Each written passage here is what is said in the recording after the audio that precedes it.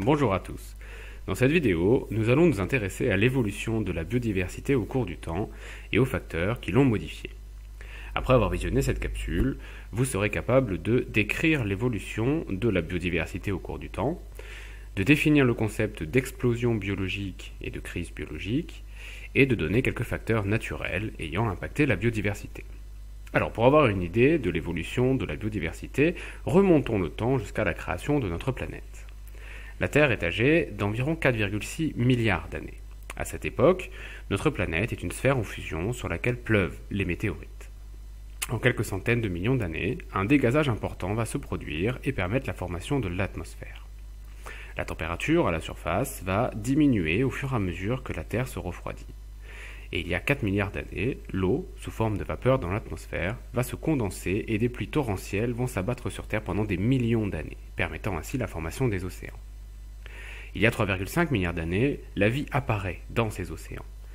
Les premiers êtres vivants sont des bactéries, donc des organismes unicellulaires, et il faut attendre près de 2 milliards d'années encore pour que des organismes plus élaborés, c'est-à-dire pluricellulaires, émergent.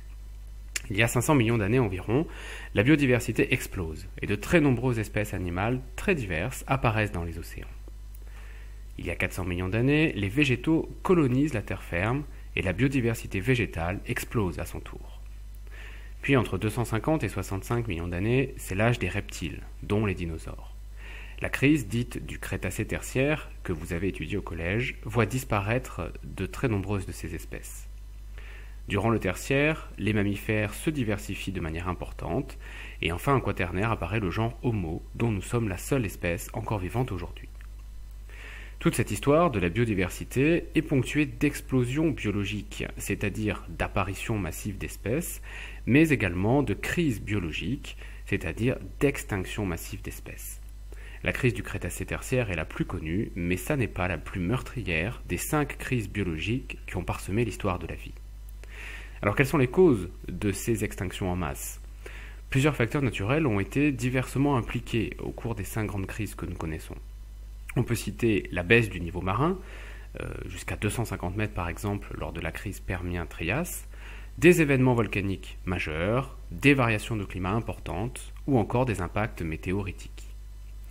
Alors pour résumer, la biodiversité a beaucoup varié au cours de l'histoire de la vie, tant en augmentant avec les explosions biologiques ou en diminuant avec les crises biologiques. Et ce que nous observons aujourd'hui n'est finalement qu'une étape de l'histoire du monde vivant et surtout une infime partie de toutes les espèces ayant existé depuis le début de la vie. Dans le prochain cours, nous allons nous intéresser à l'impact de l'homme sur la biodiversité car aujourd'hui, certains scientifiques pensent que nous sommes en train de vivre une sixième crise biologique.